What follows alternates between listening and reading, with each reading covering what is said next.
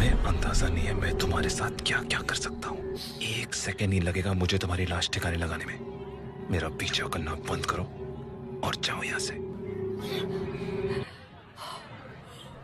wow